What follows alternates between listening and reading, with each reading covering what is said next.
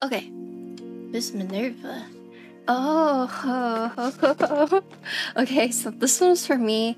XXW. So this is by archetype. Group buy for this is looking to be what September 29th. So you don't know archetype is an artisan maker with the octopuses. I have never won an archetype artisan.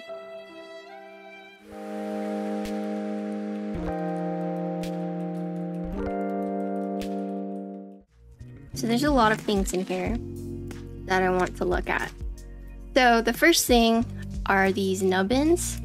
So these are little magnetic pegs that you put on the back of the board. We have these little nubbins. We have these little silicone.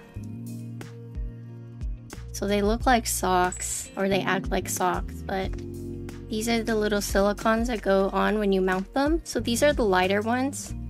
The blue ones are a little heavier. This is uh, the Easy Mate connector. So this is actually a different JST cable so check this out. Instead of going in from the side, it actually clips in from the top. And then you would just press this on right here, like that. And then you would just pull it off like that. So it's called the Easy Mate connector. It's not a, a standard JST, so you don't plug it in from the side, you press it in from the top so there is PC plate in here, but we're gonna be using carbon fiber. So this is the Proto 1v1. The production run will be uh, 1.2. There will be a few things changing it. This is the Storm colorways, so it is two-toned. It's actually a little bit more purple IRL. Okay, yeah, so this is more accurate. This is the alu weight. I think on the website, the Storm one comes with a black PVD, so it's gonna be shiny, but this is alu, so it's not shiny. If you're curious how the shiny weight looks like, Tim Keyless actually has it. Tim stole it from this build. He licked it? Wow.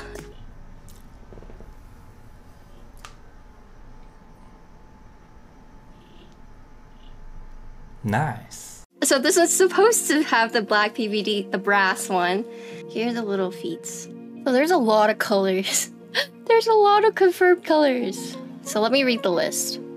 Ghost, Royal, Taupe, Storm, which is this one, Carbon, Malbec, Wisp, and then looks like they're still trying to decide between Heritage and Moss at the moment. Yeah, so this is this is the board. Here's the front. Here's the side. So it is seamed There's a back. Big old weight that you can pick. There's also multiple weight options. So tentative but likely, you'll have three brass variations, black mirror PVD, sandblasted black PVD, sandblasted gray PVD, copper, which is sandblasted the clear protective PVD, brass sandblasted raw, no coating, and an E white. But here is the USB side. So this part is for the little nubbins. So these are little magnetic nubbins. There'll be different colors that you can buy. So you can just bloop.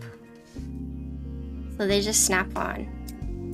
So you got five little nubbins. There will be different colors that you can pick from. I think Meg was saying that eventually the plan is to have a bunch of these. Uh, some will be raffle for, I guess, really special edition, but the goal is to just have it on the website available for anyone to buy. But yeah, they are magnetic. And then you can actually you can swap them around for whatever you're feeling. And the fit's pretty tight, so they're not gonna wobble. And it goes pretty deep in there. You don't really have to worry about it knocking off. Let's look at the PCB while we're here. Okay, so PCB is not the final version, right? So here's what the PCB looks like. Top piece, bottom piece, you can break these off. There is no per-key LED. Yeah, so you have step caps, different spacebar because there's two layouts. So it looks like you can do split back space. So here's the back. So here is the easy connector. Wait, so it's interesting because on this one, the main part, like the alphas, don't have per-key But if you look over here, those are slots for per-key LEDs. I don't know if this is going to be perma. We are including through-hole UV LEDs for underglow for specific artisan caps. Nice. So this is not the this is not the final version. It's not gonna be force split right. It's just this one. It's just this PCB that I have. And I also have the 1.1 version and you guys will be buying the 1.2. But yeah, we're gonna be using carbon fiber and we're gonna be using um, using lavenders today. My cat has a really bad habit of chewing on cardboard. So anytime I have a box, she just like chews on it. But one time she chewed up one of my PCBs and I couldn't fix it. So now anytime she's around my boxes, I have to like tell her, be gone. oh, I have three of them. I have three of them. Where's Mo? So normally they'll jump on my chair and sit right here. So you'll probably see one in a little bit.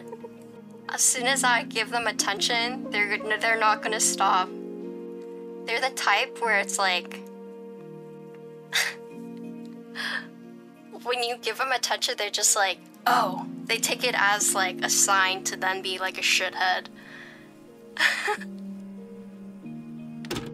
okay, so whenever you guys are building this, so you see this part where you see the gold right here?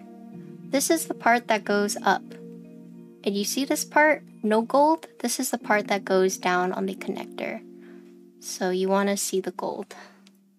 So you just Boop! So you just literally press it in like that. And then if you're trying to take it out, you just lift it up. Boop! And then press it back in. Alright, so now we have to assemble this together. So let me just pull this off pretty easily. Uh, so one thing about PC is that um, the production run will have metal threaded. Right now it doesn't have it for this one, but the production run will. So I'm gonna use a harder feet. If you, let me show you guys this. Can you see that? It says bottom. And this part says top. It's very faint. So bottom piece, it does matter, the orientation. So pretty nice. So the bottom part is the flat part, the top part is the more curvy part. And then you can mix and match the gaskets if you want. So essentially I had to like push it in from the side and then it kind of fell into place from there. I'm gonna screw this in first. These are the heavier ones. The blue is heavy. Gray ones are lighter, softer. So then now we take this. So if I push this down, so this is a pretty tight fit. I think that's correct. Okay, we're done. It let you crash out. That's okay. I ate a fat ass crepe earlier and I also passed out. I ate a huge crepe, strawberry, banana Nutella with whipped cream. It was good. We pulled an XXW. Yo, why am I known as that? What the? Cakes are overrated? Okay, hot take. you make me hungry? Sorry, Avo. You don't know what a crepe is? It's a really thin pancake or basically a French taco. He did not just say French taco. yeah, I had one of my friends tell me crepe is a French taco, and I was like, okay. There's the board. Oh my god, look at my face cam, look. Oh my god, look at... Oh my... Sorry, I was looking at my arm muscle. Anyways, yeah, so this is the board. So let's start a typing test.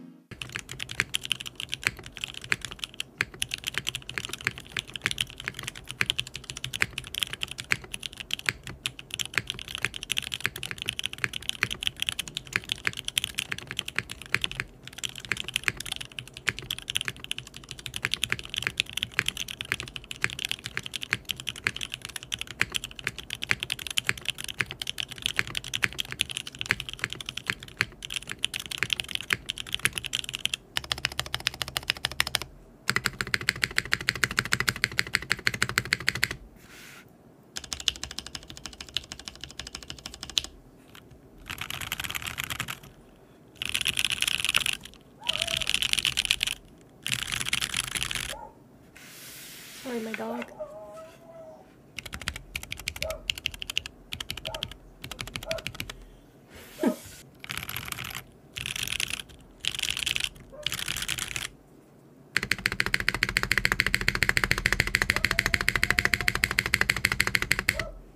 Dang, I like that. Uh, okay, well yeah, this is the board. What do you guys think? What are your thoughts? Tell me guys, tell me what you guys think. And I'll tell you guys what I think. So uh, I think this spacebar, I could hit the spacebar all day, every day. Oh, so one thing that's like pretty interesting. So there's there's a border around the entire keycaps like that, it actually goes lower as you go lower. So this little part is raised, and then as you go down, it eventually becomes one with the board. That's something I didn't notice until now. That's very subtle. I didn't notice it at all. Check that out! You see the taper? It gets deeper as you go higher, and it gets more shallow as you go lower. Dang! There's so many subtle things in this word. So if you look at this part too, look, you see how it's flush, and then as you get higher, it starts to go in and then raises up. Wow, there's so many small details on this word. Yeah, lots of subtle things I didn't notice until now. But yeah, that's the board. Thank you, Mech, for reaching out and letting me build it. This is a fantastic there's lots of fine details that as I'm looking at the board, I'm noticing more and more. But yeah, the spacebar. The space spacebar's so good. I love it.